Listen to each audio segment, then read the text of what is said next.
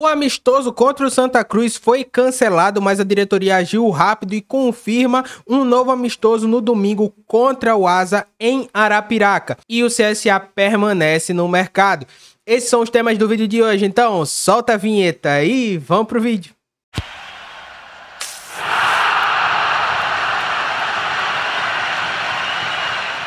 E aí, galera do Papo de Azulino, fala meu povo, fala meu time, mais um vídeo aqui no canal, mais um programa. E no programa de hoje a gente vem trazer o desfecho, né, de um assunto que a gente trouxe ontem, que o Severo tinha adiantado que não estava certo o amistoso ainda por conta de campo, né? Não tinha onde jogar, não tinha onde fazer o amistoso contra o Santa Cruz. O CSA tava com tudo certo para ir para lá, só que não tinha estádio para fazer o jogo. Até se cogitou colocar para Caruaru, mas aí o CSA não aceitou. A diretoria agiu rápido. A gente também até tinha pensado nisso, né? No vídeo de ontem tinha dado essa ideia aqui. Poderia ser um jogo contra o Asa, já que também ficou uma lacuna para o time de Arapiraca que não conseguiu fazer o amistoso contra o próprio Santa Cruz, mas aí por problema de ônibus, né, que quebrou por duas vezes, então o Asa não conseguiu ir até Recife, né? Acabou ficando essa lacuna. Foi uma solução caseira, né? Uniu o útil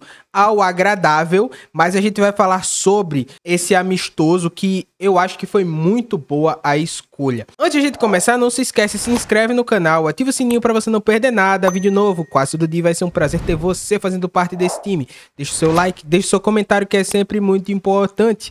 Diz aí o que é que você achou, o que é que você acha desse amistoso, contra o Asa, tá? E o torcedor vai poder ir, tá? Inclusive tem até valores, tá? Eu vou colocar aqui na descrição, mas se eu não me engano, a meia é 25 reais. Então, é tranquilo se você mora em Arapiraca, mora perto, ou você vai até lá, né? Vai ter condições aí de assistir a mais um amistoso do Centro Esportivo Alagoano. Então vamos lá, meu povo, trazendo aqui as informações, tá? A gente já tinha adiantado isso no vídeo de ontem, então a gente traz aqui o desfecho. Como não houve né, o amistoso contra o Santa Cruz, né? Seria impossível haver esse amistoso contra a equipe de Recife. O CSA agiu rápido. Isso eu achei muito massa, tá? Porque pro clube poderia muito bem colocar, olha, não houve condições, então aqui a gente vai resolver de outra forma, com um jogo treino aqui fechado mesmo, mas não manteve-se um amistoso no calendário e aí a solução foi caseira, né? Achar um adversário dentro do próprio estado. E quando eu citei ontem o Asa, não foi só pela conveniência do Asa não ter enfrentado o Santa Cruz, não. Foi pelo fato de ser um excelente adversário. E aqui eu não tô entrando no mérito de, ah, não, se algum dos times perder vai ser ruim. Vai, vai não, porque se perder, e for identificado os problemas, você utiliza isso para você consertar. O jogo que vai valer é o jogo de janeiro para as duas equipes, porque as duas equipes jogam a pré-copa do Nordeste. Então isso vale tanto para CSA quanto para o Asa. Quem perder, caso haja um perdedor nessa partida, como eu sempre digo, essas coisas, resultado de amistoso, o placar é o que menos importa. Tá? Você tem que solucionar. Se ganhou, tem que entender, beleza, o que é que deu certo aqui, o que é que deu errado, para a gente conseguir ajustar para janeiro. Se perde, tem que entender o porquê que perdeu, né? Tudo tem um contexto. O jogo que precisa ter uma vitória e o jogo que é valendo mesmo é contra o Barcelona de Ilhéus pela pré-copa do Nordeste. Esse sim, no de domingo é mais um teste para o Centro Esportivo Alagoano e é um excelente teste porque além de ser um time que também vai jogar a pré-copa do Nordeste, tiveram aí inícios de pré-temporadas num período próximo e você ainda tem um fator de o Asa joga o Campeonato Alagoano junto com o CSA e é um possível adversário numa semifinal.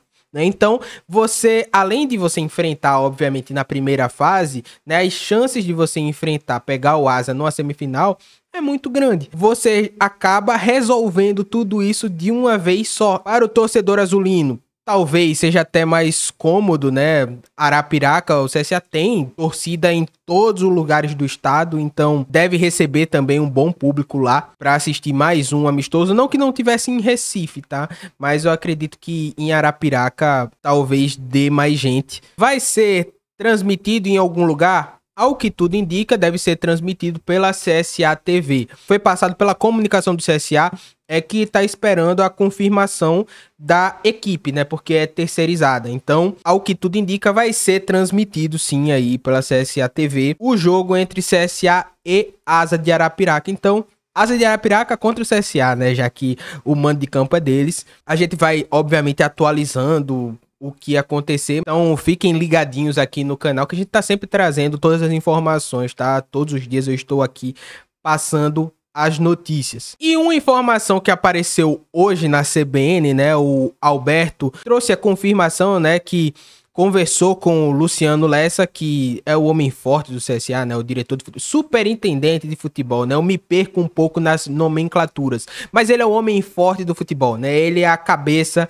acima de todos. Agora o Jadson é executivo e o Luciano Lessa aí no comando do futebol, né? O, o cara que tá acima dele. E houve a confirmação de que o CSA não está com o elenco fechado, tá? Podem vir mais contratações ainda. Então, para o torcedor que sentiu falta de algumas posições, o Severo também complementou. O que pode surgir é um zagueiro e um meia. E eu acho que são posições que o CSA realmente precisa.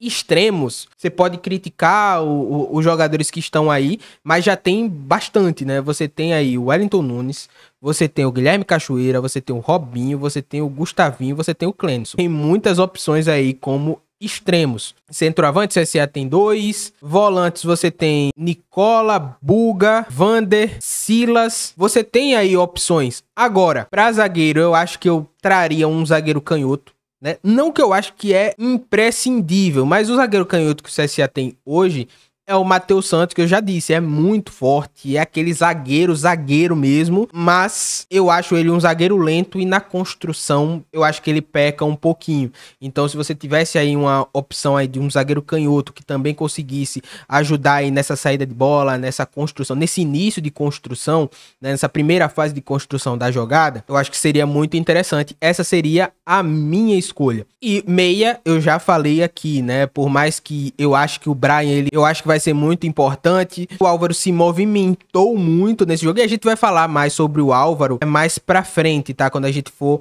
analisar melhor aí o time, não sei se num pré-jogo, mas essa semana a gente vai avaliar melhor o time do CSA. A gente já fez, mas aí eu vou focar mais individualmente nas peças, né, que jogaram no amistoso passado.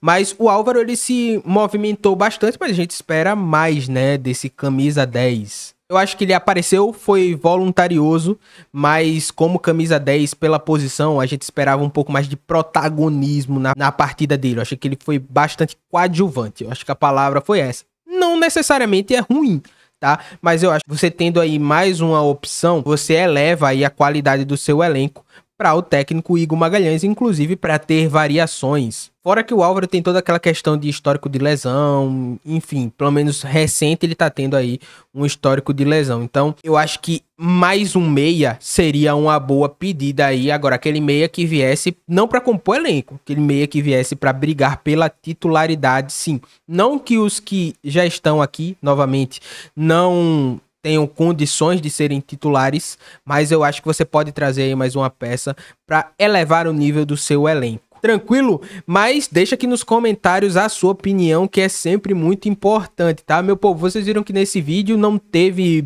muita edição, né? Geralmente a gente coloca aqui o vídeo com as falas, né? Tanto do Alberto, do Severo, mas estou sem internet, então eu tô gravando aqui na raça e vou ter que dar um jeito de enviar esse vídeo para vocês, seja por 4G, indo no posto de gasolina que tem internet aqui. O problema não é falta de pagamento, não, tá? É a Brisa Net que estourou ali o, a fibra e deixou a gente tudinho aqui sem internet. Então eu espero que volte o mais rápido possível, mas se não voltar, eu vou ter que dar um jeito de enviar esse vídeo para vocês, mas vocês não vão ficar sem vídeo porque é vídeo novo quase todo dia, vai ser um prazer ter você fazendo parte desse time, tá certo? Não se esquece, se inscreve no canal e ativa o sininho que tá vindo muita coisa boa por aí. Como eu falei, vai ter o amistoso, a gente já tá preparando aí muito conteúdo legal aqui para vocês. Se inscrevem pra gente chegar o mais rápido possível aí nos 4 mil inscritos. Tá muito perto se a gente conseguisse bater isso aí